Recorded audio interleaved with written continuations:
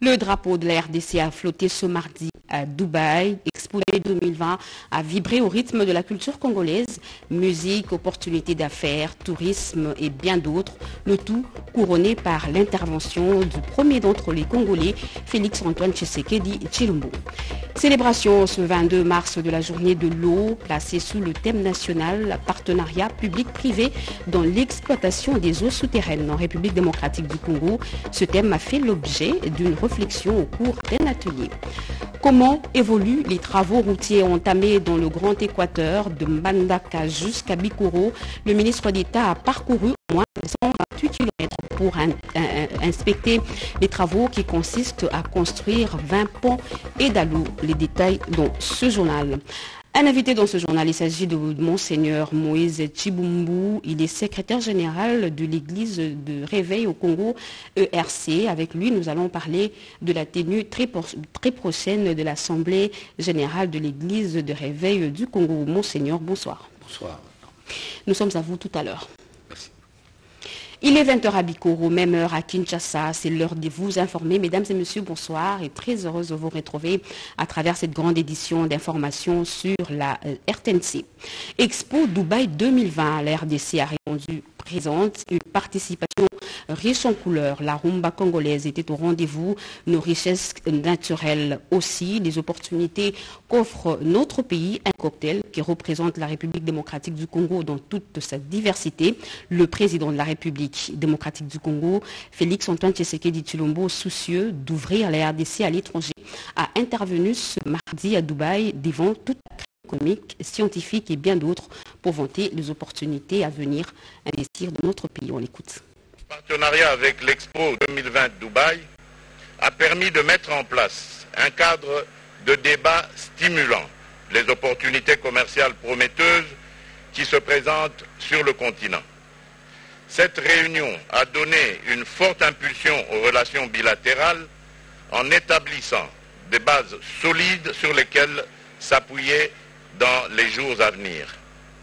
Ainsi, la République démocratique du Congo a pu conclure quelques protocoles d'accords importants, notamment l'accord bilatéral d'assistance mutuelle administrative en matière douanière, la Convention pour l'élimination de la double imposition et la prévention de la fraude et de l'évasion fiscale en matière d'impôt sur le revenu, l'accord relatif à la promotion et à la protection réciproque des investissements et la protection de l'accord sur la mise en place d'une commission mixte pour la coopération entre le ministère des Affaires étrangères et de la coopération internationale entre le gouvernement de la République démocratique du Congo et celui des Émirats arabes unis.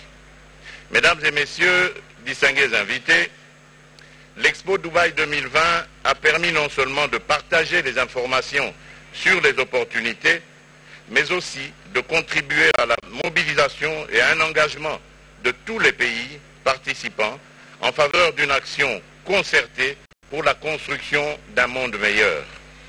Les efforts en faveur doivent poursuivre, étant donné sa corrélation avec la paix, la sécurité et la stabilité. Je vous invite donc à visiter de nouveau le pavillon de la République démocratique du Congo et à saisir toutes les opportunités d'affaires qui y sont offertes. Ainsi, je déclare ouverte la journée de la République démocratique du Congo à l'Expo 2020 Dubaï. Que vive la République démocratique du Congo, que vivent les Émirats arabes unis, que Dieu protège l'amitié entre les Émirats arabes unis et la République démocratique du Congo. Je vous remercie.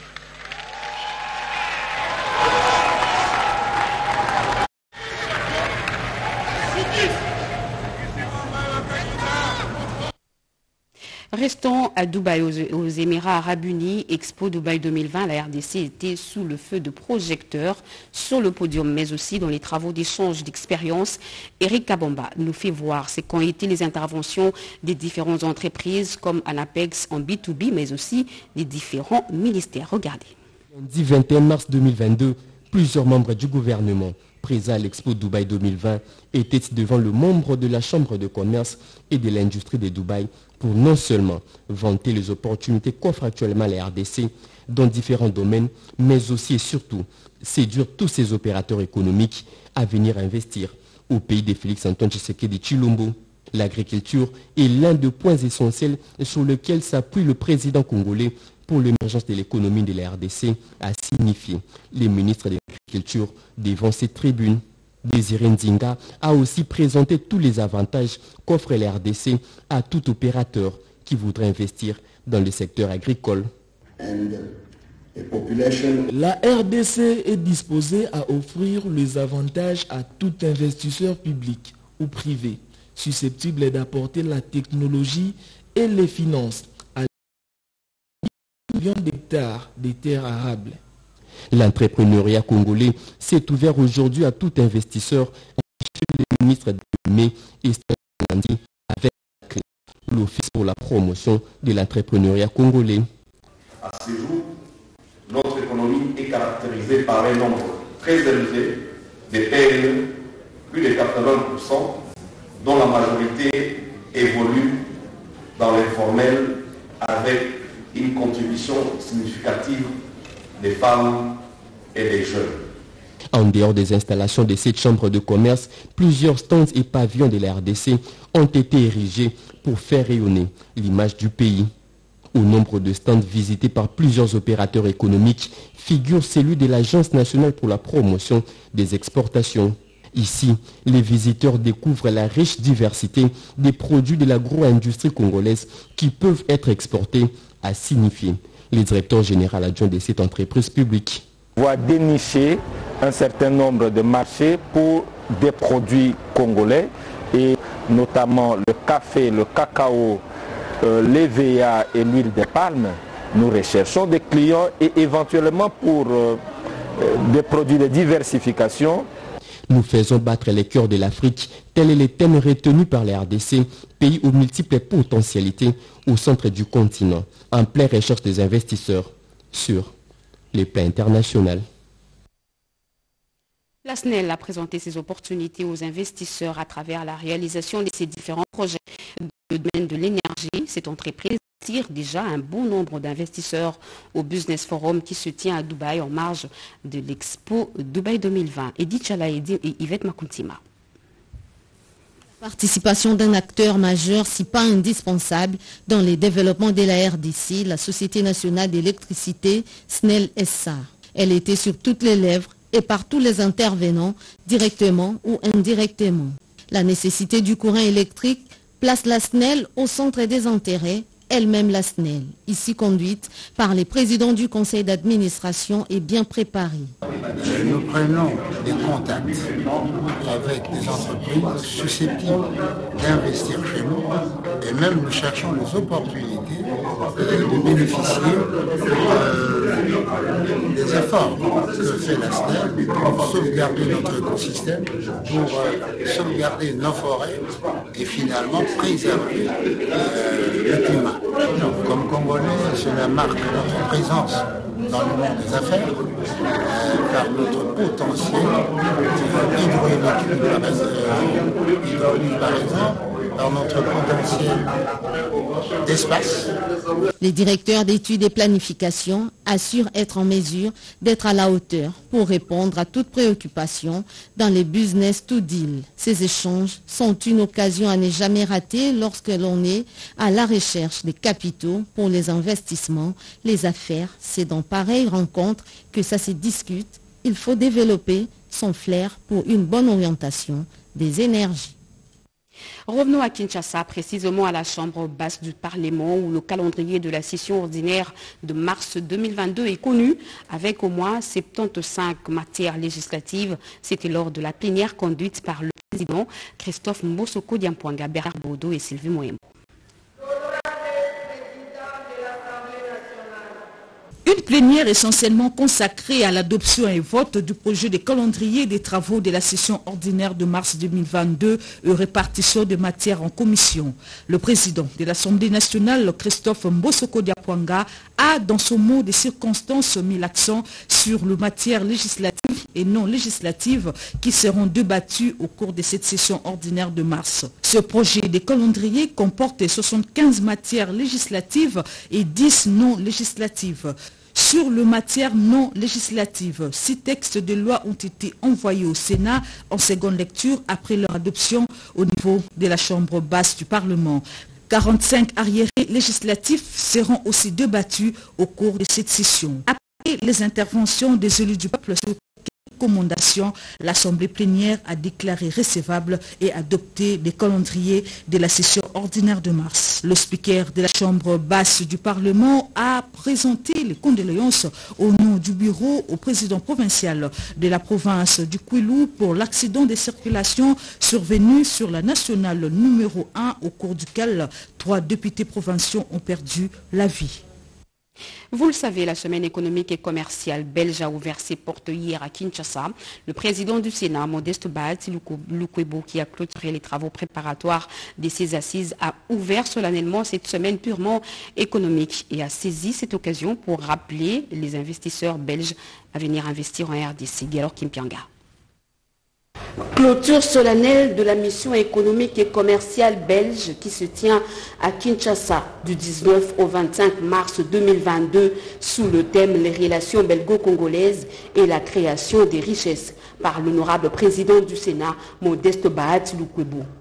À cette occasion, le président du Sénat congolais a encouragé les entrepreneurs belges à venir investir en RDC. Modeste Bahati, qui a loué la diplomatie agissante du chef de l'État, Félix Antoine Tshisekedi Chilombo, a également indiqué que le Parlement travaille sur les différentes lois pouvant favoriser l'amélioration du climat des affaires afin de sécuriser davantage les investisseurs. Le président de la Chambre haute du Parlement a saisi cette occasion solennelle inviter les membres de la mission économique belge à s'intéresser aux provinces de la RDC qui offrent plusieurs opportunités d'affaires dans différents domaines en vue de participer à travers leurs activités au développement à la base comme le veut le président de la République avec le projet de développement de 145 territoires. Modeste Bahati a en outre émis le vœu de voir les entrepreneurs belges s'intéresser particulièrement au secteur agricole. Il y a tout à faire dans nos territoires, que ce soit le secteur des infrastructures, que ce soit le domaine de l'économie, que ce soit le domaine social où on doit construire les hôpitaux, les écoles, que ce soit le domaine de la formation, formation professionnelle, le domaine des services, les banques et autres, on a besoin de vous, les hommes d'affaires, vous, les opérateurs euh, économiques, pour que vous puissiez déjà prendre place à bord de ce train de développement à partir de la base. Immédiatement après, le président du Sénat congolais a procédé à la coupure du ruban symbolique ouvrant officiellement la semaine belge à Kinshasa.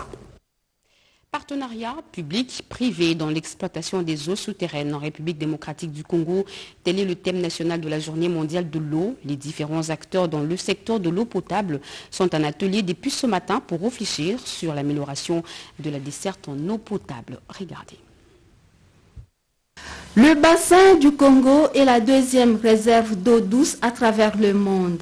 Malgré cette richesse, une grande partie de la population congolaise n'a pas accès à l'eau potable, ce qui expose cette population à plusieurs maladies d'origine hydrique. En marge de la journée mondiale de l'eau qui intervient le 22 mars de chaque année, le gouvernement congolais, à travers le Comité national d'action de l'eau, de l'hygiène et de l'assainissement que dirige Philippe Moulenga Kabeya, a réuni les différents acteurs qui interviennent dans le secteur de l'eau pour une analyse profonde sur l'état des lieux des ressources en eau souterraine en République démocratique du Congo. La promotion des acteurs privés dans l'amélioration du secteur de l'eau sera l'axe principal des présentations qui vont suivre les expositions dans les stands cette journée mondiale de l'eau en RDC. Les différents intervenants à cet atelier se sont penchés, entre autres, sur les maladies d'origine hydrique qui touchent aussi bien les enfants que les adultes comme les vers des Guinées.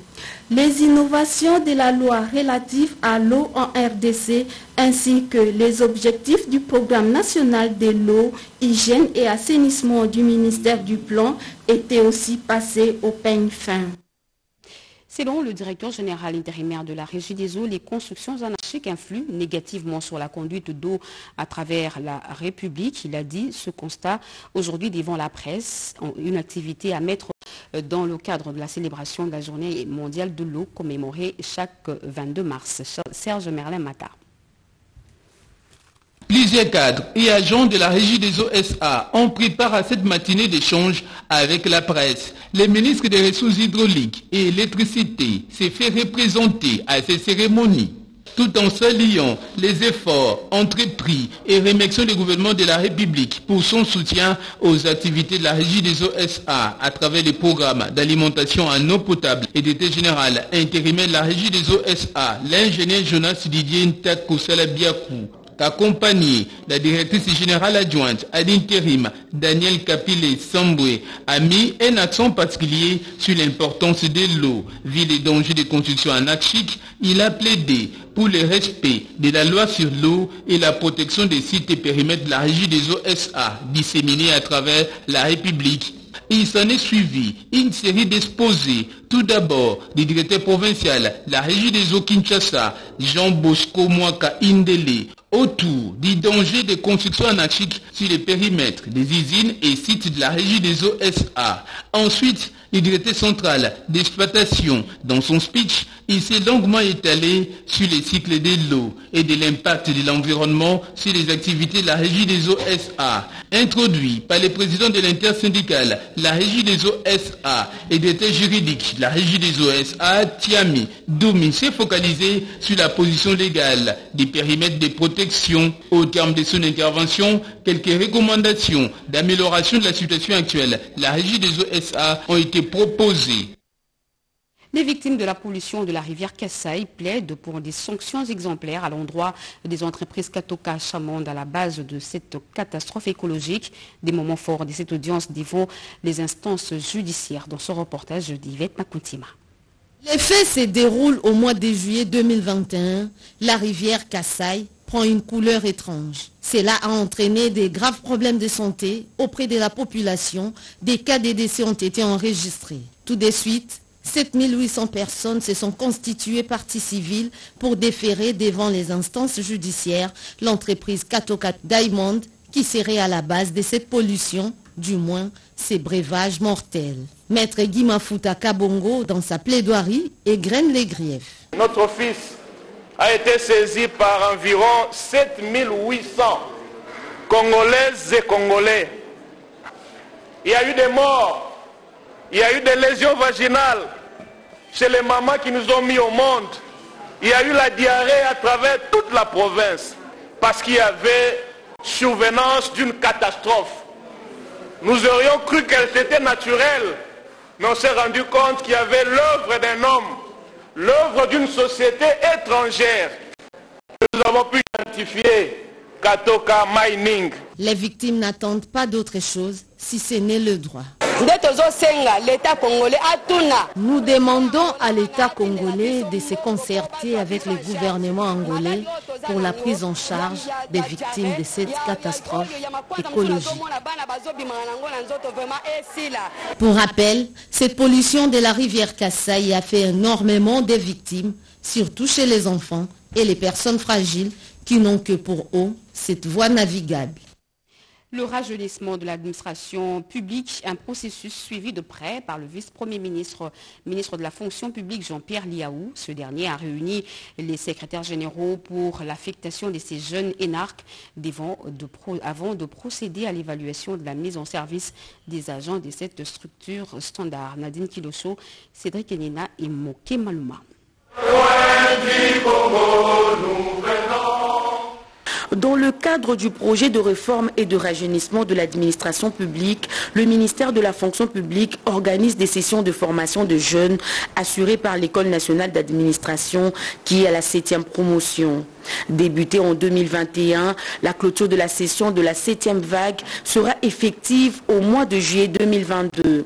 Et dans l'optique de planifier l'affectation des jeunes de cette promotion, le vice-premier ministre, ministre de la fonction publique Jean-Pierre Liaou a tenu une réunion avec les secrétaires généraux pour des dispositions utiles en vue de l'affectation de ces énarques. En deuxième lieu, Jean-Pierre Liaou a conféré avec les cadres de l'administration publique pour procéder à l'évaluation de la mise en service des agents des structures standards à travers différents ministères. Nous avons reçu des instructions claires euh, concernant euh, euh, ces dossiers précis sur le fonctionnement des structures standards dans toutes les administrations, tel que est dicté, tel que signé par le VPM ministre de la fonction publique, de manière à ce qu'on comprenne la même chose, cette grande réforme au niveau de la fonction publique et surtout tout ce qui est lié aux structures standards.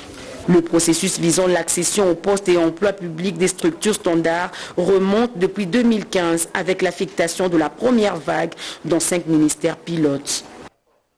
Mesure de garantie d'un financement permanent des, permanent des, activités de surveillance de la gestion des risques des éruptions euh, volcaniques de Virunga, l'une des recommandations des travaux de la première conférence internationale sur la gestion des volcans de Virunga. Le ministre de la Recherche scientifique et innovation technologique, José Panda Kabangu, a procédé à la clôture de ces assises internationales.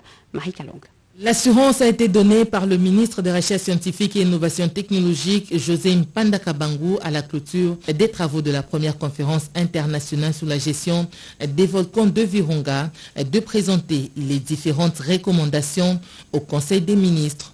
Des recommandations qui stipulent, entre autres, la création du Comité national des volcanologues, les mesures de garantie d'un financement permanent des activités de surveillance de l'OVG, les mesures de garantie d'un financement permanent des activités de surveillance de la gestion des risques, ainsi que l'accompagnement de l'OVG dans la consolidation de son plan stratégique. Je voudrais vous assurer que je ferai mienne toutes ces recommandations formulées au cours de ces assises, lesquelles recommandations seront présentées au gouvernement de la République pour appropriation?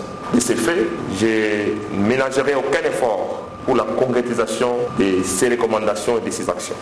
Pendant les travaux en panel de cette première conférence internationale sur la gestion des volcans de Virunga, Julien Palouko, ministre de l'Industrie, s'est exprimé à ce sujet. Il y a une volcanique qui va occasionner le déplacement d'un million d'habitants. Il faut qu'il y ait une réflexion d'évacuation de ces habitants. Si le volcan est bien surveillé, il ne peut pas surprendre la population. La visite des différentes délégations au musée de l'OVG ainsi qu'au site de l'éruption volcanique de 2021 était parmi les moments forts de cette première conférence internationale. C'est suite aux événements malheureux de l'éruption volcanique de 2021 que le chef de l'État, Félix-Antoine Tshisekedi Chilombo, avait donné l'initiative de ces travaux qui ont été clôturés par le ministre José Mpanda Kabangu. La des reste le de contrôle afin de garantir la consommation des produits de qualité importés. laboratoire moderne est sorti de terre justement pour concrétiser cette vision. Jacques Tibobameji.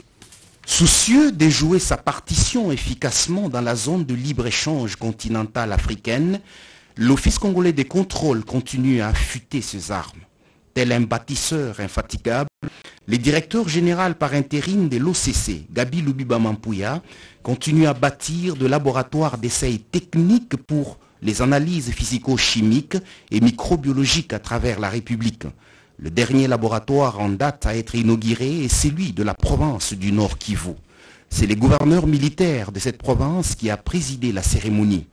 Pour le DG de l'OCC, Gabi Lubiba Mampouya, ces laboratoires va protéger la population contre toute forme de contrefaçon de produits importés et fabriqués localement.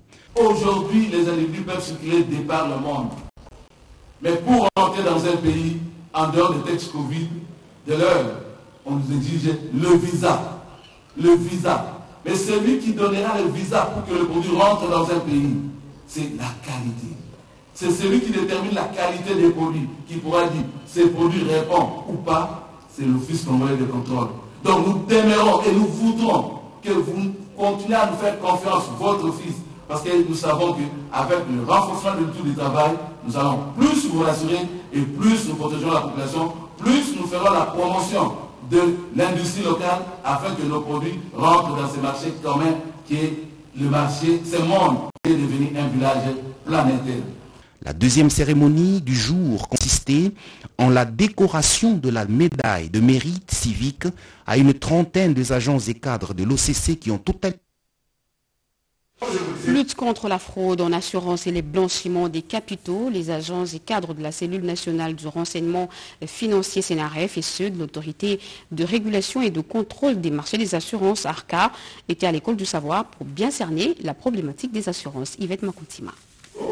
C'était lundi 21 mars 2022 que le directeur général de l'autorité des régulations et de contrôle des assurances ARCA, Alain Kaninda, a organisé une session de formation et d'information à l'endroit des agents et cadres de la cellule nationale du renseignement financier CNRF dans les cadres du partenariat qui lie les deux institutions. L'objectif de cette formation n'étant pas de les former, en experts en assurance, mais de leur permettre d'acquérir les outils nécessaires pour aborder avec sérénité toute la problématique des assurances relevant de leur champ d'action. Ainsi, en vue d'atteindre cet objectif, la formation a été subdivisée en deux grandes parties.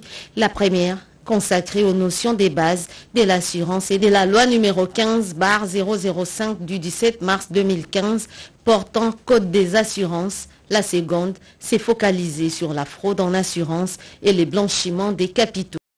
Nous passons dans une deuxième phase qui est la continuité de ce travail de contrôle dans le cadre de la lutte contre l'évasion des primes d'assurance pour euh, faire en sorte que dans notre marché, nous puissions ramener les capitaux qui aujourd'hui partent à l'étranger par des placements directs, mais aujourd'hui avec euh, l'accompagnement de la CNRF, euh, nous voulons intensifier ce travail-là de contrôle et évidemment identifier tous les cas qui seraient liés au blanchiment des capitaux lorsque ces, primes d'évasion ont lieu et sont organisées par les sociétés et les opérateurs économiques. Ressortir l'intérêt de mutualiser les efforts pour limiter la fraude en assurance et les blanchiments des capitaux avec comme incidence une mobilisation importante des revenus pour financer l'économie et développer le social.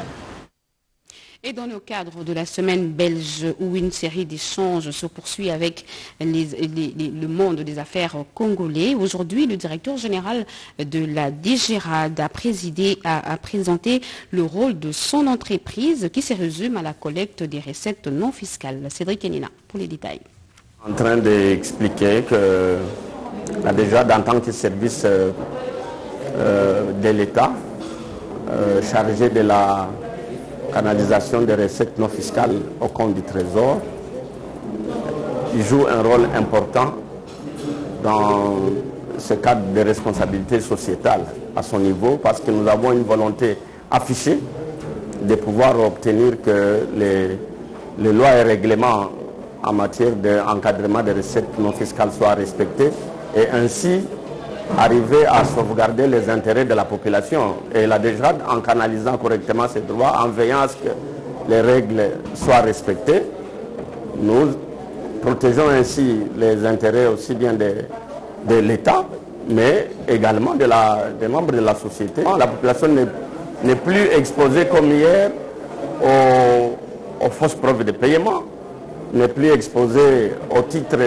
des propriétés ou autres licences document euh, euh, non valide, parce qu'un document n'est valide que si les droits au trésor ont été correctement payés. Et donc l'espoir est encore permis. Et nous veillons, nous, agents de la DGRAD en général, nous veillons à ce que les lois et règlements soient respectés.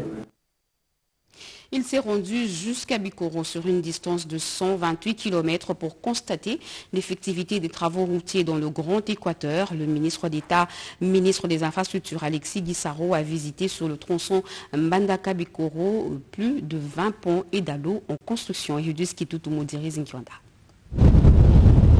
La délégation du ministre d'État des Infrastructures et Travaux Publics a parcouru 128 km pour se rendre compte de l'état actuel du tronçon routier Mbandaka-Bikoro et aussi la réalisation des autres ouvrages en construction sur financement du FONER sur la route nationale numéro 21. Alexis Guissaro Mouvouni s'est assuré de la qualité des travaux, de la problématique des cantonnages et celle de la location et du coût du matériel pour les offices qui exécutent les travaux. Après cette visite, des instructions claires du ministre d'État ont été données, notamment le respect du délai des travaux. Euh, nous avons pour cela donné des instructions très claires à l'office de route pour que d'abord les travaux soient réalisés à temps, parce que nous, avons, nous nous rendons compte que les délais ne sont pas respectés. Nous avons pu constater aussi ça et là qu'il y avait des travaux qui n'étaient pas vraiment faits dans, les règles de l'art, et des mesures correctives qui vont suivre euh, au niveau euh, des structures. La population et les autorités ont réservé au ministre d'État Alexis Guissaro. C'est pour la première fois depuis plus de quatre ans qu'un ministre d'État foule le sol de ce territoire. Un seul message, le désenclavement de ce coin de l'Équateur. Occasion pour Alexis Guissaro d'annoncer l'arrivée du chef de l'État Félix Antoine Tshisekedi Chilombo. Cette mission se poursuivra dans d'autres villes de l'espace Grand Équateur. En politique, le président fédéral de l'UDPS Kassai 2 salue les efforts déployés par le chef de l'État Félix Antoine Tshisekedi Chilombo et dit oui à la vision du président de la République dans l'autonomisation des femmes et l'ouverture au monde de la RDC à travers une diplomatie active. Bertrand Concolé. Il est beau, territoire portuaire, mais aussi fief naturel du président de l'IDPS, Fédération du Kassai 2, a réservé, comme l'accoutumé, un accueil digne aux porteurs du message de développement de celui que tous appellent Fatih Béton. Lorsque le petit porteur qui transporte Roger Niami survole le territoire d'Ilebo, la population, toute catégorie confondue, est impatiente et suspendue aux lèvres du président fédéral pour écouter les orientations venant de la haute hiérarchie du parti. Chant, danse traditionnelle, cri joie et ovations accompagnent le représentant du secrétaire général de l'IDPS, Augustin Kabouya. Ça n'est suivi une véritable procession de longue distance sous les ovations de la population, bien escortée jusqu'à la permanence du parti. Au siège de l'IDPS, c'est une ambiance à l'allure d'une campagne électorale. Les combattants et combattantes qui ont cru à la vision salvatrice du président de la République, Félix Antoine Tshisekedi Chilombo. Roger Niami, excité par cet accueil, remercie la population et le rassure sur l'état de santé du président de la République qui s'est porté bien et qui représente valablement le pays à l'IDPS, la femme a une place de choix. Elle est devenue l'allié incontournable pour la bonne marche du parti. Quoi de plus normal qu'elle soit honorée sur instruction du président de caucus de l'IDPS Kassaï 2, Fortinanda Mafos, qui a tenu personnellement à distribuer ses pagnes aux femmes du parti, tout un symbole et une marque de reconnaissance. La fédération du Kassai 2 se porte mieux et affûte déjà ses armes pour offrir à Félix Tshisekedi un deuxième mandat avec une majorité parlementaire écrasante. Les conditions de travail des médecins sans frontières laissent à désirer et cela peut entraîner une grève partielle. Conscient de la gravité de la situation, le ministre des Affaires sociales, Modesto Moutinga, s'est entretenu avec une délégation de cet organisme. Madame Anne-Marie Bouillel-Dieu, représentante pays de Médecins sans frontières RDC, a conféré avec Modeste Moutinga Moutuchai, ministre des Affaires sociales, Actions humanitaires et Solidarité nationale dans son cabinet de travail. Au centre de leur entrevue, Médecins sans frontières projette une grève partielle ce 23 mars 2022 sur toute l'étendue de la République démocratique du Congo en raison des conditions de travail difficiles qu'elle explique Anne-Marie Bouillel-Dieu, représentante pays des Médecins sans frontières Cette annonce de suspension euh, concerne les activités régulières. Les urgences vitales euh, seront prises en charge, euh, comme l'éthique médicale l'exige, que les blocs opératoires fonctionneront, que les services de soins intensifs fonctionneront, que des blessés seront pris en charge. Mais à travers la suspension des activités dites non essentielles est une façon d'alerter tout le monde sur la, gravité de la situation, que tout bien-être finit par euh, tomber dans la routine et euh, alors qu'il est vital, indispensable et urgent de trouver des solutions à impact immédiat pour la population d'abord, bien sûr, et pour les acteurs humanitaires. Modeste Moutinga Moutuchai, ministre des Affaires sociales, Actions humanitaires et solidarité nationale, a promis d'en faire part au Conseil des ministres pour trouver des solutions à impact immédiat pour le bien-être de la population itouienne. Nous vous avons dit à l'ouverture de ce journal que nous recevions pour vous le secrétaire général de l'Église du Réveil au Congo, Monseigneur Moïse Chibumbu. Bonsoir, Monseigneur.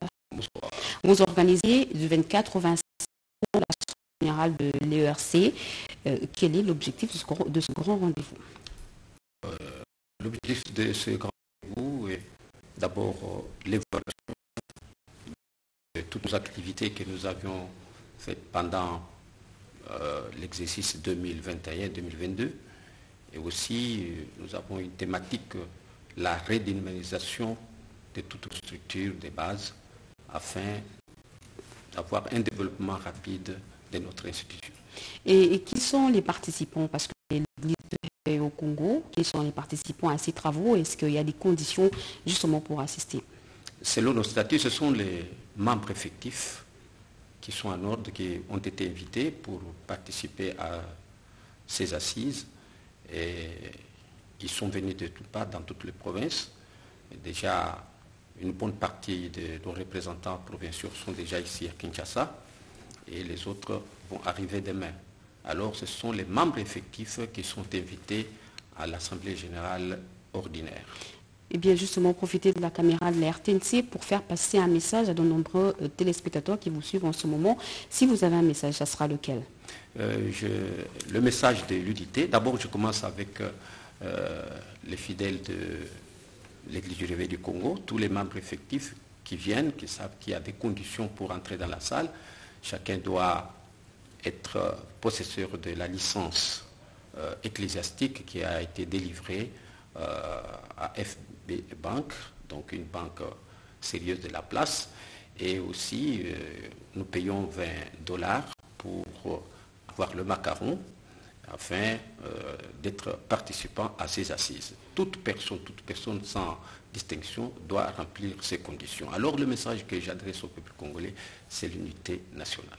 Merci beaucoup, Monseigneur. Nous rappelons, nous rappelons que vous êtes le secrétaire général de l'Église de Réveil au Congo et vous appelez Moïse Chibumbu. Merci, d'avoir accepté notre invitation. Fin de ce journal qui a connu le concours rédactionnel de Joël Merci à vous qui nous suivez à Ilebo, Kassa et partout ailleurs sur satellite. L'actualité continue sur nos antennes. Retrouvez à 23h José et Baïtouambo. Moi, je vous retrouve demain à 20h. Très bonne suite de programme sur la chaîne nationale. Au revoir.